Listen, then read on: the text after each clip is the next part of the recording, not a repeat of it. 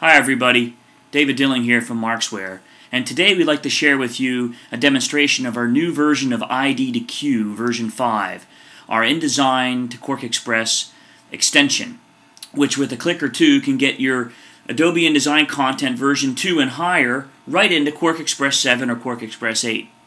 It's really neat, extremely powerful tool, and that's what I'd like to show you right now. Let's check it out. Alright, great. The first thing you want to do is purchase, of course, ID2Q in Design to Quark from Markzware, and that you can do under our product section. You choose ID2Q, and you can buy the product either from a um, local reseller or, of course, simply click the Buy Now button.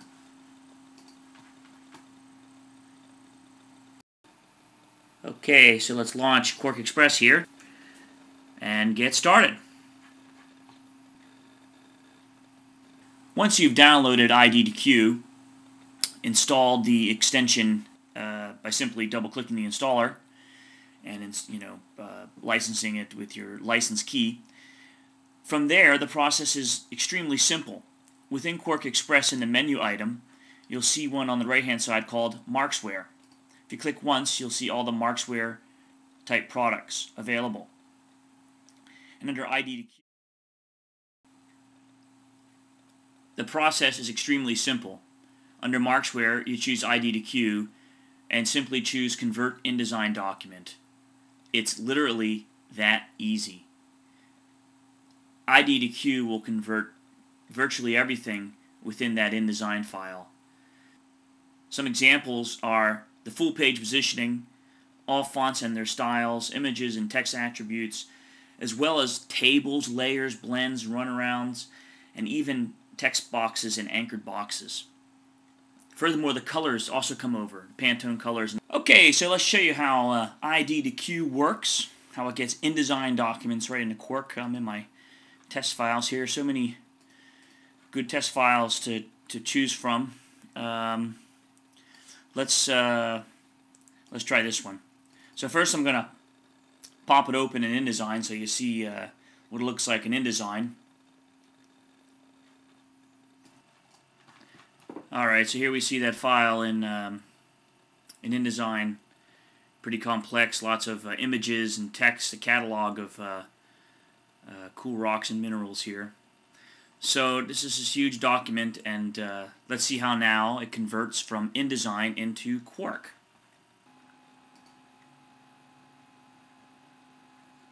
Okay, so here we are in QuarkXPress, uh, QuarkXPress 8 just to make it clear. Uh, ID2Q also works in QuarkXPress 7. Here we are in 8. I just go to ID2Q. You see some of our other products and some uh, some things we're working on here. Uh, MarkzTools is a great tool for um, downsaving to version 6 or version 4, but also fixing corrupt QuarkXPress files, or at least tries to. Has a pretty good success rate. Um, but today we're talking about ID Q version 5. We just go to ID Q we go convert InDesign document. We go into our test files here and we just choose that test file. Uh, here it is, same file. We hit open. We get a couple conversion options. Let's get into those a little bit deeper here. The trick here is always use under text attributes, use styles, all you know, full stylization and under picture previews, use picture.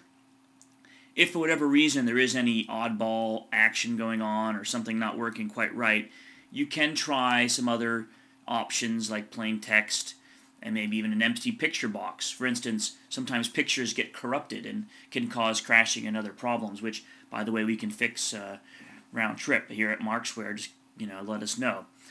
Um, in any event, yeah, we want to use the picture and use full styles if you have a lot of um, uh, pasteboard items in use, you'll want to include pasteboard items and grow overflow text boxes that's, uh, you know, generally for large text documents and, and books and things where you might want to do that. I generally don't click that because most of the times if you use the same font, the conversion is so good it won't matter. Alright, so let's uh, go ahead and uh, see what happens here.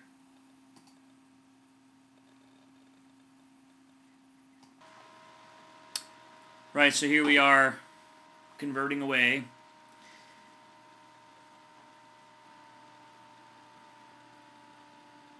The process is relatively quick. Of course, it depends on the uh, the size of the file. It can take a few minutes.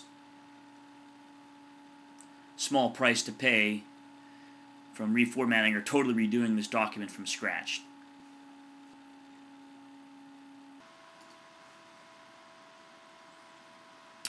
Near completion here.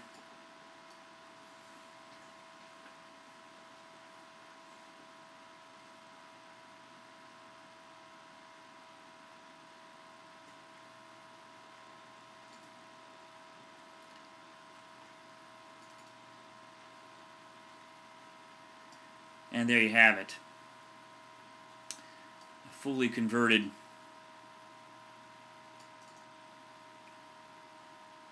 InDesign document now right in QuarkXPress. So if I scroll through these pages here, you'll see looks pretty darn accurate, the conversion. And yeah, you could just imagine how much time this would take someone to to uh, you know to, to do from scratch. It would just be extremely time consuming. And here with ID2Q from Markzware, it's as easy as a couple clicks. Alright, what I've done here is bring the original InDesign document, uh, the exact page, and let you see an, an, example on the exact page in the new QuarkXPress converted document, QuarkXPress 8, converted with ID2Q version 5 from Markzware. You'll see that the conversion is incredibly uh, complete and it looks more than not ready to go. Now you will want to do a, you know a, a check over, a pre-flight check if you will, preferably with Markzware's own FlightCheck Professional, which can pre-flight many file formats, help you uh, find problems and fix them, and collect the final JAW for output with fonts and images, even compressing the file for you. But once again, there's plenty of videos on our YouTube channel already about that.